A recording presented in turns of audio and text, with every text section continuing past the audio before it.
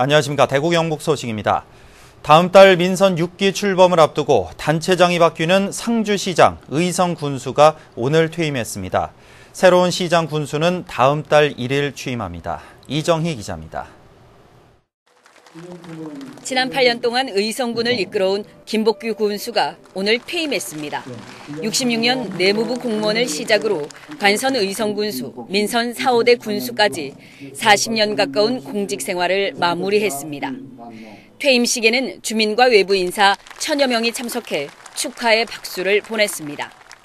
김 군수는 재임 기간 지방채를 모두 상환해 2012년부터 빚없는 자치단체의 명성을 이어왔고 전국에서 가장 많은 지방교부세 확보, 보건복지부의 고령 친화 모델 조성 등의 성과를 남겼습니다.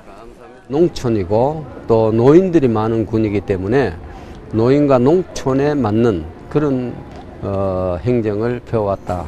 더 많은 산업체 유치와 공단 유치 같은 이런 것을 못한 것이 좀 아쉽습니다.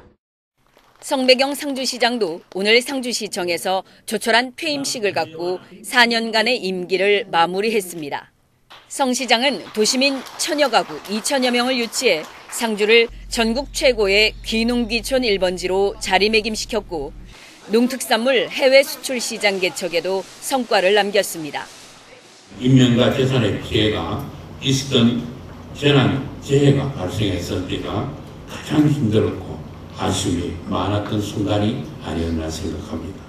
성주 발전을 위해 하나의 미랄이 되겠습니다.